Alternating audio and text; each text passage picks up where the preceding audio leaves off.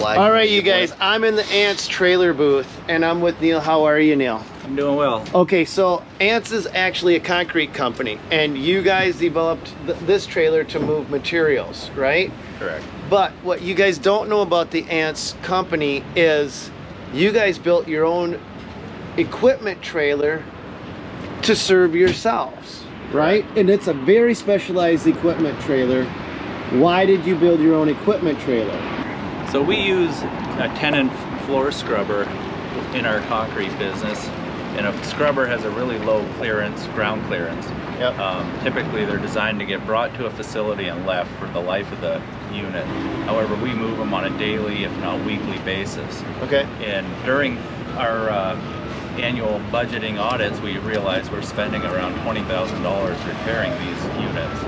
Um, in that process, we decided we, we got to fix it. Okay, so why were you spending so much money repairing these things? What was going on? So we would have operators that are um, loading in, in different austere conditions, um, uneven ground or, or mud or whatever, and they would slip and they would end up hitting the, the ground right right on the ledge, yeah, and that would destroy the undercarriage brushes, and that cost about five thousand dollars to repair, and that was happening multiple times a year. You're a concrete company. You got about 120 people pouring concrete on a daily basis.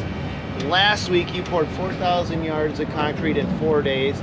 You poured 1,000 yards a day before 9 a.m. That means they had 100 concrete trucks running full time, and you got a, hun- a, a thousand yards poured a day before 9 a.m.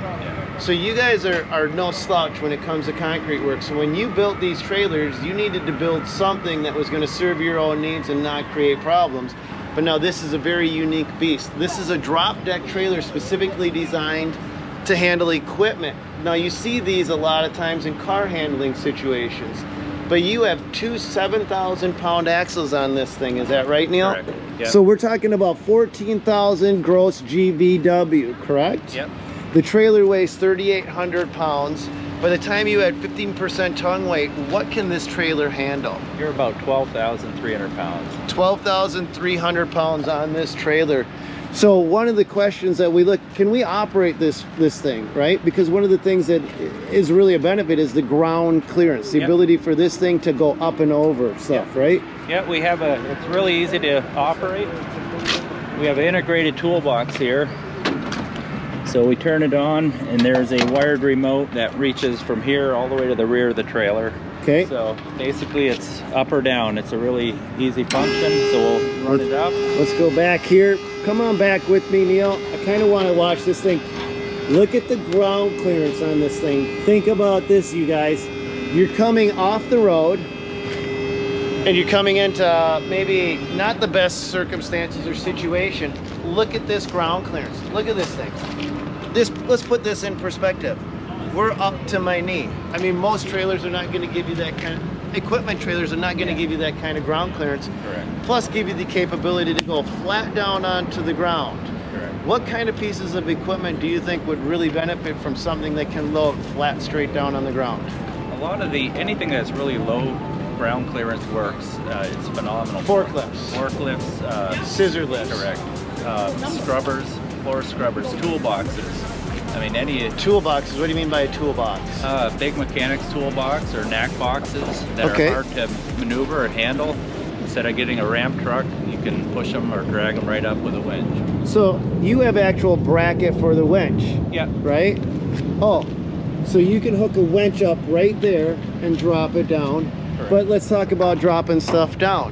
When we're going down the road, how do we go down the road? Because we're not going down the road like this. correct. How, how do we go down the road? So there is a, a, a margin of travel or elevation that was optimal that we've designed the camber and the toe of the axles so that they're they're running at the proper thing. okay. So basically, this is our max elevation, so we would want to lower this down to our ride height. Yep, here we go. Let's put the two safety blocks down.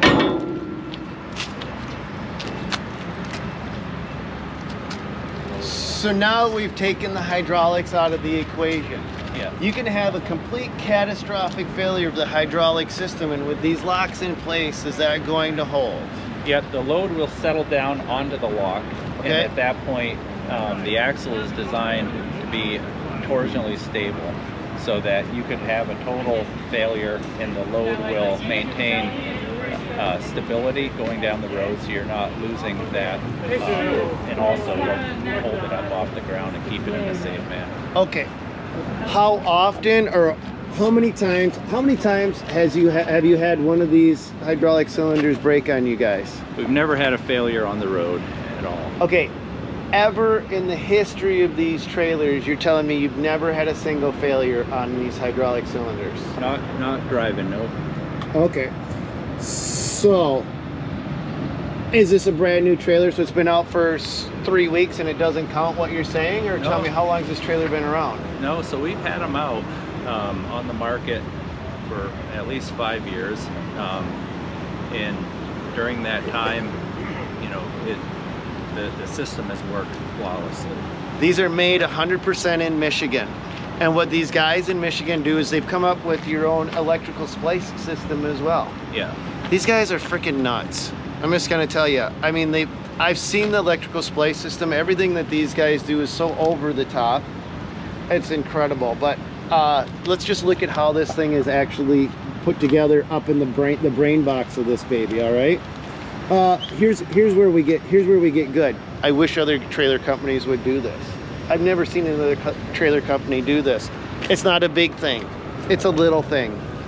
Right here. It, it was born out of necessity. You guys probably got sick and tired of seeing your plugs by your crews laying in the dirt. yep, and and damage. You know, you when they're sitting in the there's a little latch there.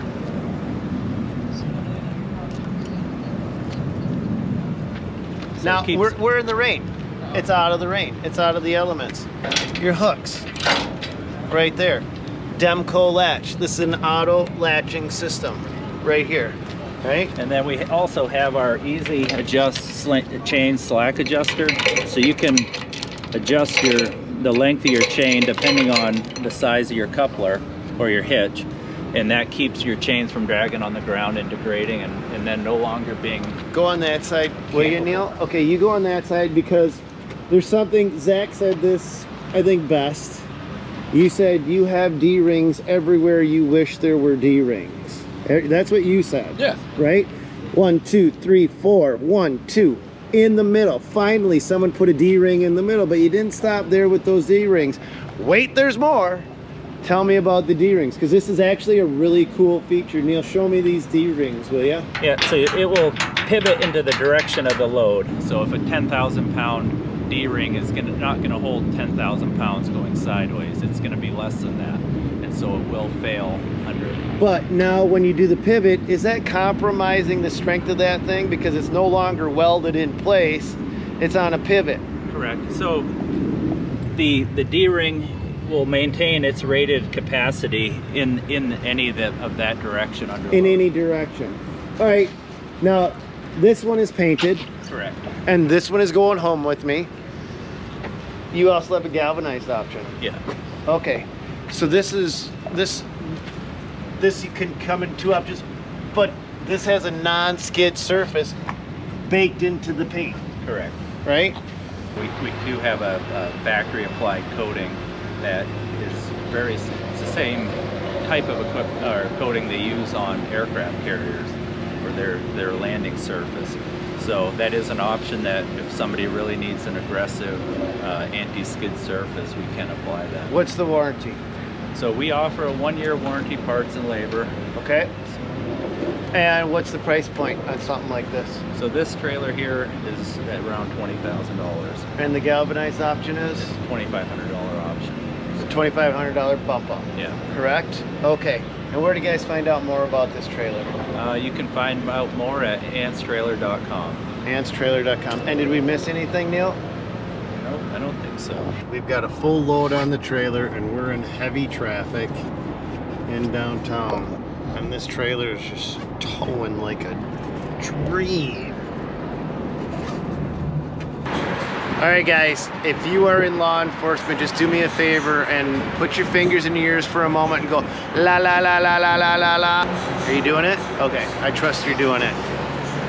To get on that highway and to catch up with all that traffic, I was going between 85 and 90 miles an hour that entire ride. I wanted to do two things. Normally, I wouldn't try to keep up with every other lunatic that's out driving on the roads especially with a brand new trailer, but I wanted to see how this thing would ride. I want you to watch to see how the trailer rides, and I want you to watch to see how the, uh, the wheels ride independently.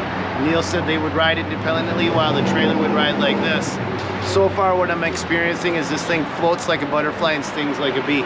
We've only got about five, 600 more miles to go, so I think we'll have enough footage to be able to know for sure whether we like it or not by the time we're done. So let's keep, let's keep this uh, trip going. All right, let's do a real quick, quick, short jaunt, but let's watch this and let's hit some hard crap. All right, this is about the best spot I can mount you guys, so let's just watch how she rides.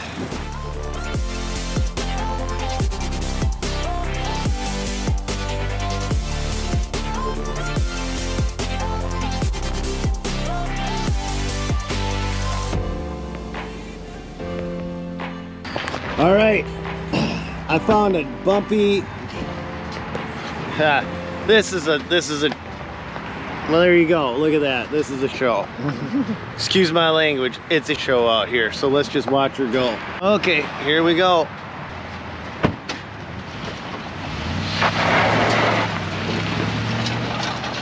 Watch the back tires of the truck and then watch the deck of the trailer itself. You can see me hitting those bumps and the, tra the truck is just going boof and the trailer is just floating across it.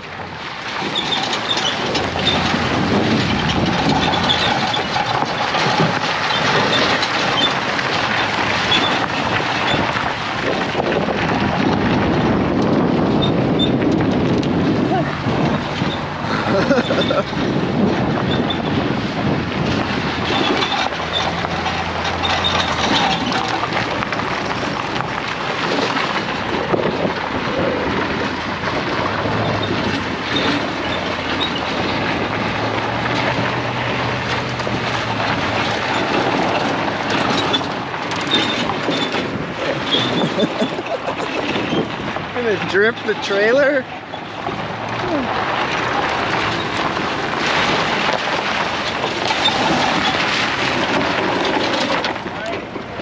check them straps. Let's see. We've been rolling now for a couple hundred miles. We just roll her right through some of the nastiest stuff we could find. Just a small testimonial to shock straps right there. Are they as tight as... Even one of our older ones. Are they as tight as you made them when you got them? When you Basically, yeah, they're, uh, they're, they're tight. Yup. So not only does the trailer roll nice, but it doesn't bounce and the shock straps roll nice too. So if you guys haven't done shock straps, you gotta check shock straps out. Legitimately, these things saved my life. I was rolling down the road and I wasn't doing crazy crap like this. This is just a side story, it has nothing to do with the trailer. I do want this included because I want you guys to know about this. I had three attachments on just like that, this, but they were much bigger attachments. A deer jumped out in front of me. I hit it at 70 miles an hour and my truck went from 70 to dead stop. If these straps had let loose, they would have picked up and flown straight into the back of the cab and I wouldn't be here today. Shock straps saved my life. When I went out and checked the straps, fiddle tight. They were just as tight. These are fiddle tight. They were just as tight as that. So get shock straps and tell them the Dirt Monkey sent you and you're gonna get a discount. I guarantee you're gonna get a discount.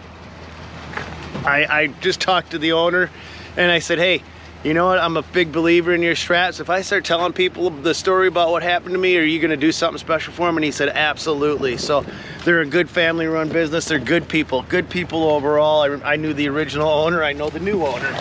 Um, but this trailer tows like a freaking dream, just like a beautiful dream. And that's gonna call it for this video. Hope you guys enjoyed watching us uh, test this trailer out on the way home. It's gonna start getting dark. We still got quite a ways to go, but I hit every pothole I could.